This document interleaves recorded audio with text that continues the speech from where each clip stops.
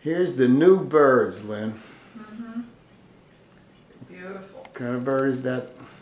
It's a golden finch. Golden finch.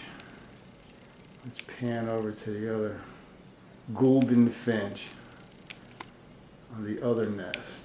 They're both males. Both nails.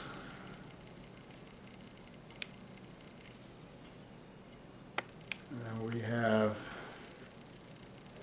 little spice. spice finches. finches. Male and female. They sit so nice and cozy together. Yes, they do. And then we have kiwi birds, which are actually Button quails. button quails. They walk around the bottom and clean up.